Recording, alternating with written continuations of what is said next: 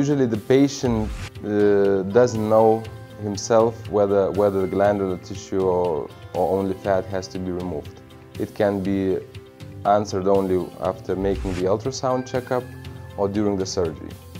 Uh, concerning the scar, uh, again, it depends a lot on how much excessive skin the patient has and uh, what, what is the quality of the skin.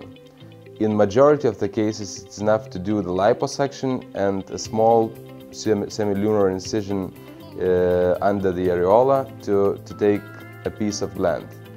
Uh, but in some cases, when the skin quality is poor and there's a lot of excessive skin, uh, an inverted T scar or horizontal scar uh, in the inframammary crease has to be made.